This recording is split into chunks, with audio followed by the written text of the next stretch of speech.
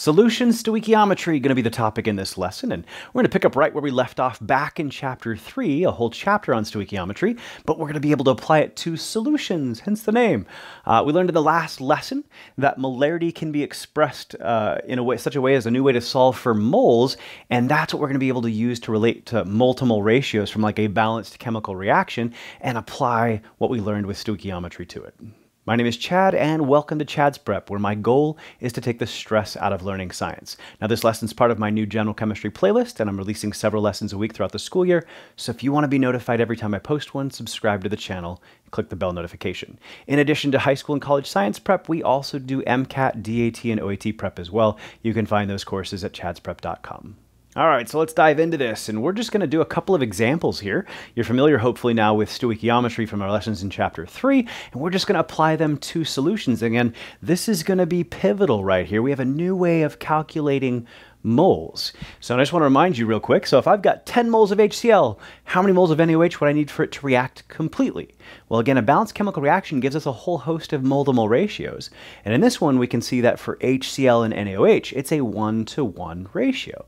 So if I've got 10 moles of HCl, well, then I'm going to need 10 moles of NaOH for it to react with a one to one ratio. And again, these mole to mole ratios are the, uh, the key here. And the key is then to relate and use these mole to mole ratios, you have to know the number of moles of something. Now in this question, we're trying to find the volume of 2.0 molar HCl needed to neutralize 20.0 grams of NaOH completely. Now if I get and said, you know, how many you know, moles of HCl are required to neutralize completely 20 moles of NaOH. You'd say 20 moles because it's a one-to-one ratio, and I could do that in our heads, and life would be good. So, but again, we're gonna make this a little harder because I didn't give you the number of moles of either one. I gave you the grams of the NaOH and the molarity of this HCl as part of a solution. So, uh, one of the relationships we got to do here. So we're going to start with that 20 grams. And again, the key is if it was moles, we'd have a lot easier time doing this. So that's the first thing we're going to do is convert it to moles. So we'll take that 20.0 grams of NaOH. And the connection between grams and moles is always the molar mass right off the periodic table. And sodium's 23 grams per mole, oxygen 16, hydrogen is 1, and that adds up to a total of 40. And so in this case, we'll put grams of NaOH in the denominator, so they'll cancel. Moles in the numerator. And again, your molar mass is always the mass of one mole, in this case, 40 grams. All right, and so from here we can see that 20 divided by 40 is half a mole, 0.5 moles. But we can take this a step further because now that we know the moles of NaOH, we can use our mole to mole ratio to convert that into moles of HCl. Put moles of NaOH in the denominator, moles of HCl in the numerator. And again, this mole to mole ratio is going to come from the coefficients in the balanced chemical reaction, which in this case is just 1 to 1. And now we're going to have the moles of HCl. And again, we need to turn that into a volume.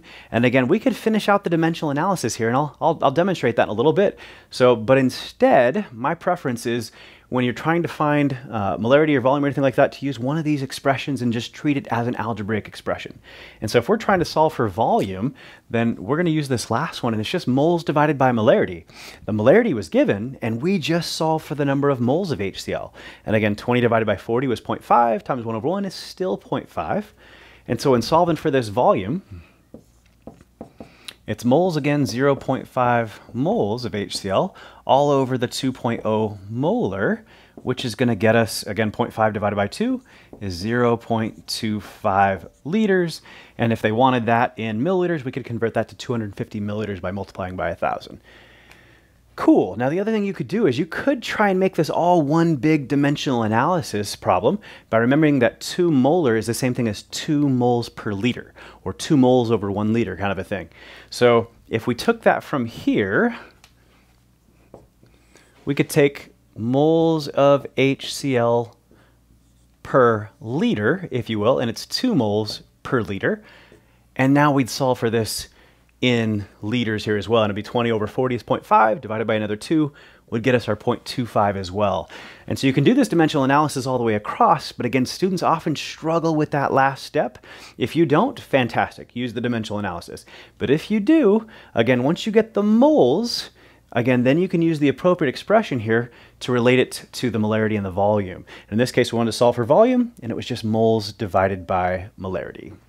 All right, this next question says, uh, what volume of 0.1 molar H2SO4 is required to neutralize 0.50 liters of 0.4 molar NaOH? And the reaction was provided. So, however, the reaction didn't have to be provided because this is one of the types of reactions we learned in the earlier lesson in this chapter, acid-base neutralizations. And we could have figured out, uh, just knowing that H2SO4 and NaOH reacting, we could have figured out it's a 1 to 2 ratio and that this was the rest of the balanced reaction. But again, in this case, it was provided. I just want to make sure you realize that it didn't have to be because this is one of the kind of reactions you now know how to predict products on and balance and stuff. So, all right, but we want to solve for the volume in liters here. And a couple things you should notice. So again, mole to mole ratios, we see that it's one mole of H2SO4 for every two moles of NaOH. And so if I said, hey, I need to neutralize 10 moles of NaOH, how many moles of H2SO4 are required? Well, based on that 1 to 2 ratio, 10 moles of NaOH would only require 5 moles of H2SO4. And so if you were given the number of moles of NaOH, then you could figure out the number of moles of H2SO4 based on that mole to mole ratio. Well, you've been given both the molarity and the liters. And again, if you're given the molarity and the liters, so then one of our expressions here, when we rearrange the definition of molarity, solves for the number of moles. And it's the most important one because we now have a new way of calculating moles. And once you know the moles, you can take advantage of mole to mole ratios like we're going to do here. And so you just want to realize that you effectively were given the number of moles, or at least the ability to calculate the number of moles of NaOH. And because we have a mole to mole ratio with the balanced reaction, we can turn that into moles of anything else in the reaction, but in this case, specifically we want the moles of H2SO4. And so we're given the molarity of the H2SO4. We know we have enough to calculate the moles now, and if you have both the moles and the molarity, you can solve for the volume, which is what we're being asked. So that's kind of the approach we're going to take here. And so First thing I'm going to do is solve for that number of moles of NaOH, and that's just going to again simply be molarity times liters equals moles. So 0.40, and I'm going to write it out as moles NaOH per liter. And we'll multiply that by, I guess I don't really have to write it as a fraction here. We'll multiply that by 0.50 liters, and we'll get the liters to cancel. And that gets us, notice, moles of NaOH left, but then we can use a mole to mole ratio. We'll put moles of NaOH in the denominator, so they cancel moles of H2SO4 in the numerator. And again, that mole to mole ratio just comes from the coefficients in the balanced reaction. And 2 moles of NaOH, 1 mole of H2SO4, and now our moles of NaOH are going to cancel, and we'll have an answer in moles of H2SO4. And so once we work this out and get the moles of H2SO4, again, we already know the molarity, and once we know both the moles and the molarity, we can solve for the volume. And we'll take that approach in a minute, but you could also go ahead and just finish off the dimensional analysis to kind of figure it out as well. So, and again, remember that this 0.1 molar means moles per liter, and if you could work out the dimensional analysis, you would need moles of H2SO4 in the denominator, liters on top. And again, 0.1 molar means 0.1 moles per one liter. And we could take it that far. And that's going to get us our answer in liters. And so in this case, 0.4 times 0.5 is 0.2. 0.2 divided by 2 is 0.1. And 0.1 over 0.1 is simply equal to 1. And so we're going to need 1 liter of our H2SO4 solution. And once again, we could have stopped this right here and not continued on with the dimensional analysis and just figured out that from this point on, it would have given us the moles of H2SO4 and 0.4 times 0.5 is 0.2. 0.2 divided by 2 is 0.1. And so we could have figured out that the moles of H2SO4 is 0.1. And then the volume in liters is equal to moles over molarity, our equation on the upper right there, which in this case would have been 0.1 moles over 0.1 molar, which again is moles per liter, which would have got us one liter that way as well. Cool, so either one of these works, and a couple different ways to look at this. So if you notice, our NaOH is four times more concentrated, so you'd think, oh, well, in that case, then we're going to need four times more H2SO4. Well, that would be if they were reacting in a one-to-one -one ratio. But because they react in a one-to-two ratio, you generally only need half as much H2SO4.